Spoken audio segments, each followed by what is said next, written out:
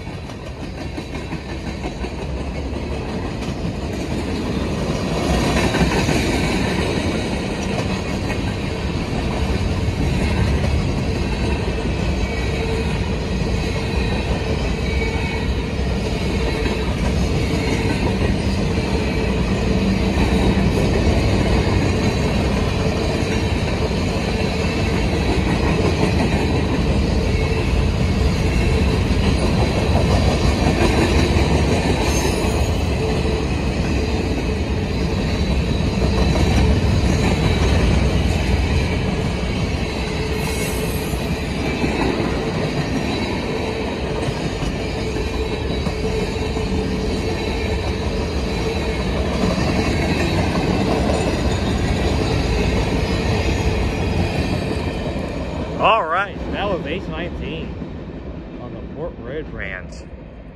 Which that was awfully nice. Yes.